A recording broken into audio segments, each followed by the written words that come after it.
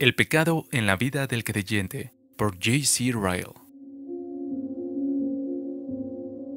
Estoy convencido de que la prueba más grande de la extensión y el poder del pecado es lo pertinaz que es en aferrarse al hombre, aun después de que éste se ha convertido y es el objeto de las operaciones del Espíritu Santo. El lenguaje del noveno artículo, esta infección de la naturaleza permanece aún en los que están regenerados. Tan profundas son las raíces de la corrupción humana que aún después de que nacemos de nuevo, hemos sido renovados, limpiados, santificados, justificados y hechos miembros vivos de Cristo. Estas raíces siguen vivas en el fondo de nuestros corazones y como la lepra en las paredes de la casa, nunca nos libramos de ella hasta que la casa terrenal de este tabernáculo se haya disuelto.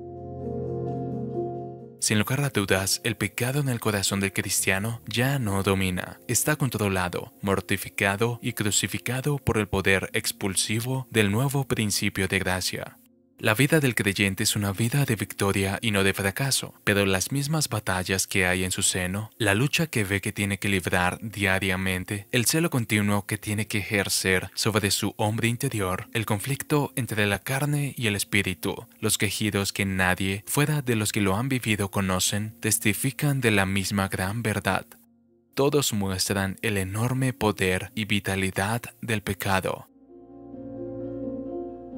Ciertamente debe ser poderoso ese enemigo que, aunque esté crucificado, sigue vivo. Feliz es aquel creyente que lo comprende y mientras se regocija en Cristo Jesús, no confía para nada en la carne y por tanto dice, gracias a Dios que nos da la victoria. Nunca se olvida de estar en guardia y orando para no caer en tentación. Leído para Canal Edificando del libro Santidad por J.C. Royal.